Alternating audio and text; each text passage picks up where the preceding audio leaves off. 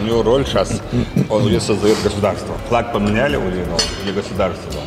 И уже он не тот уровень, что он каждый мектеп ramzan qodirov turk aktyori burak o'zchivit va prodyuser mehmet bo'zdag'ni chechenistonga taklif qildi он, разрабатывает стратегии, он ищет, он o'zbekistonliklar rossiya hududiga kirisha olmaydi.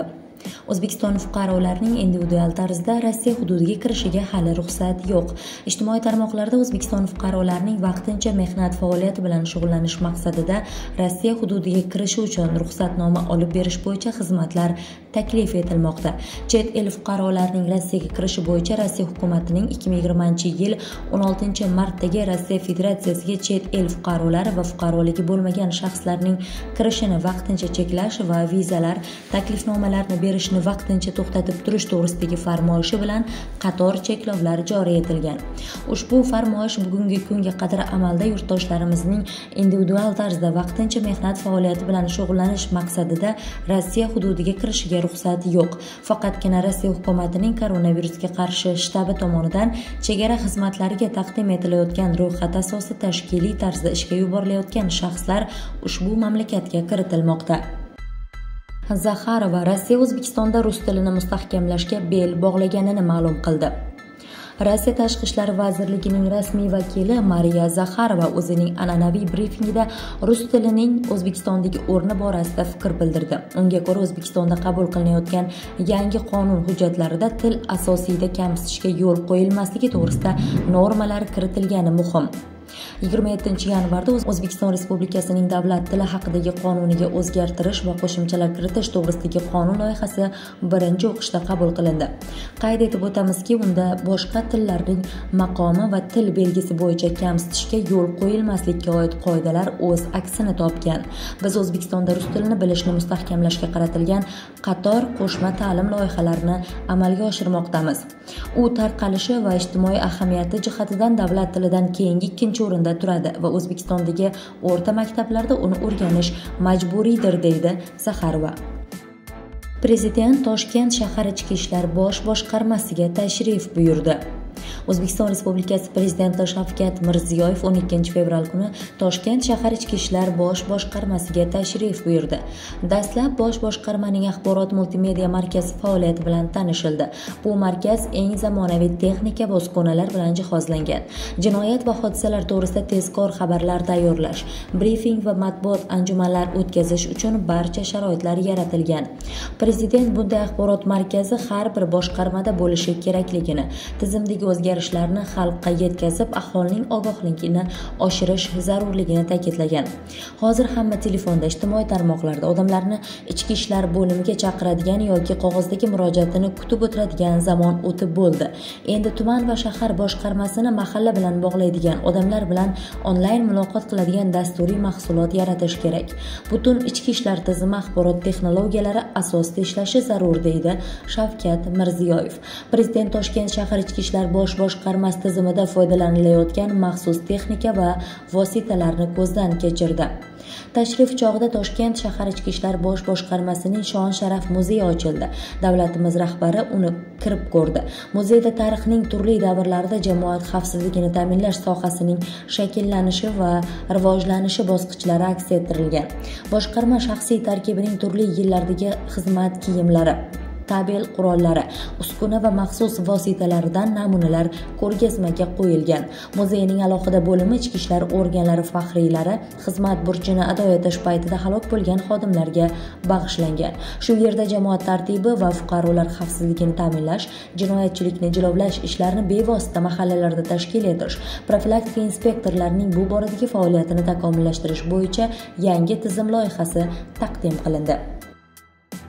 Turkmaniston prezidenti o'z o'g'lini bosh vazir o'rinbosari etib tayinladi.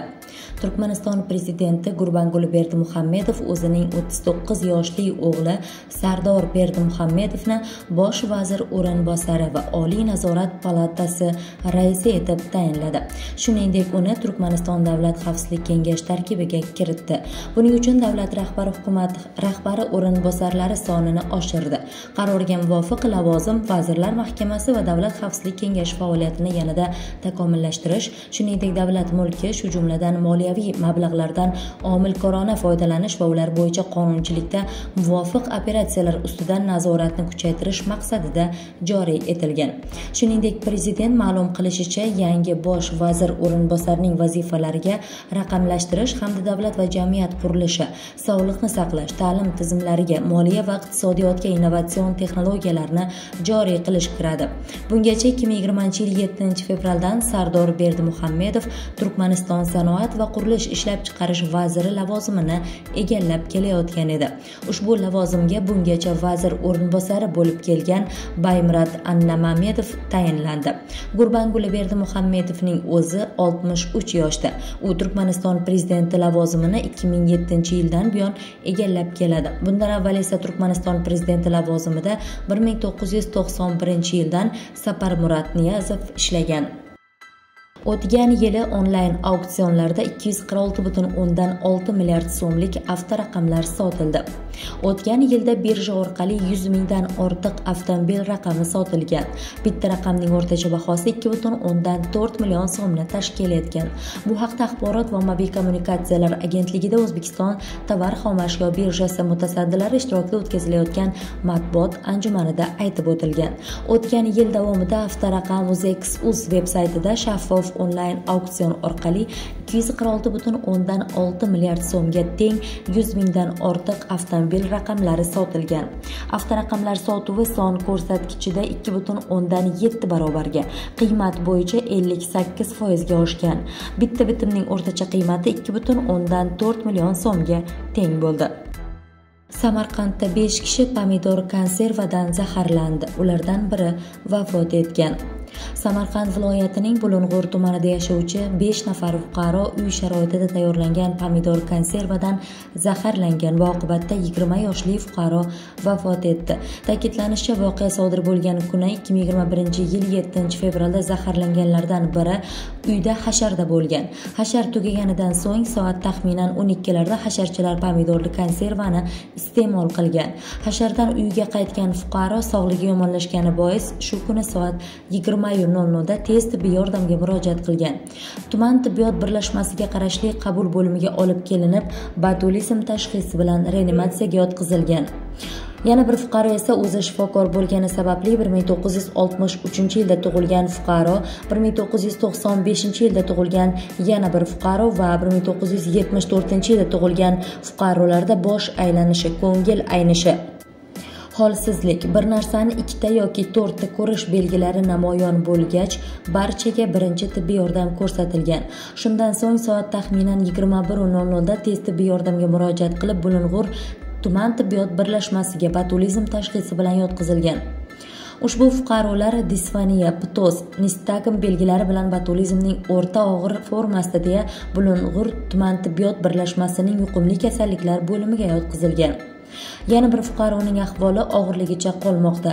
U sun'iy nafas olish apparati yordamida muolaja olyapti. Intensiv davo muolajalari hamda botulizmga qarshi zardob berilishiga qaramasdan yigirma yoshli fuqaroning ahvoli tobora og'irlashib sakkizinchi fevral kuni soat uchu o'ttizda vafot etgan. Viloyat sanitariya epidemiologiya osoyishtalik va jamoat salomatligi boshqarmasi boshlig'i o'rinbosari latif rustamovning ta'kidlashicha fuqaro xonadonida ikki ming yigirmanchi yilda tayyorlangan pomidorli konserva namunalari olinib bakteriologiya laboratoriyasiga yetkazilgan. Hozirgi kunda targ'ibot va tashviqot ishlari davom etmoqda. O'ninchi fevral kuni mingtepa mahallasida istiqomat qiluvchi o'ttiz to'rtta xonadonda yashovchi bir yuz qirq ikki nafar aholi bilan botulizm kasalligi bo'yicha suhbat o'tkazilgan. Xonadonlardagi qo'l bola tayyorlangan yetmish to'rtta bir yuz sakson to'rt litr pomidordan qilingan marinovkalar borligi aniqlanib barchasi utilizatsiya qilingan.